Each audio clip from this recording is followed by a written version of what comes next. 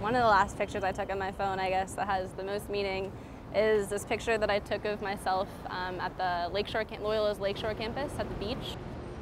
I just had two hours in between some classes and it was a beautiful day. It was 82 degrees. It said so on my Snapchat thermometer. That's ridiculous. Oh, I took this one. It's a picture of uh, like the Wrigley building downtown at night. I was um, on training for the marathon and I I was on a 20 mile run, which was horrible because it was running 20 miles. And uh, so I was on my way home and I just like had to stop.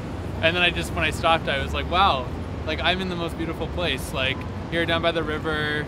Um, and then there's like the Wrigley building all like bright and then everything else is dark and it was just great.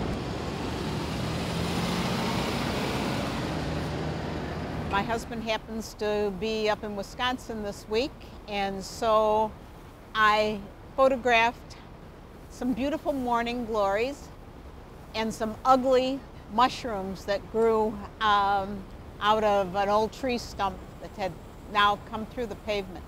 So I entitled it uh, The Good and the Bad, the Beautiful and the Ugly, and uh, sent it to him this morning.